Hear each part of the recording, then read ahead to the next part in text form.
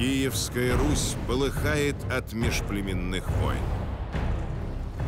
Повсюду бесчинствуют разбойники и работорговцы. Только я со своей дружиной могу прекратить этот разбой и навести порядок на нашей с вами земле. Молодому князю Ярославу предстоит объединить народы. Чтобы раз и навсегда покончить с врагом. Единстве наша сила. Единстве и в любви. Ярослав. Тысячу лет назад.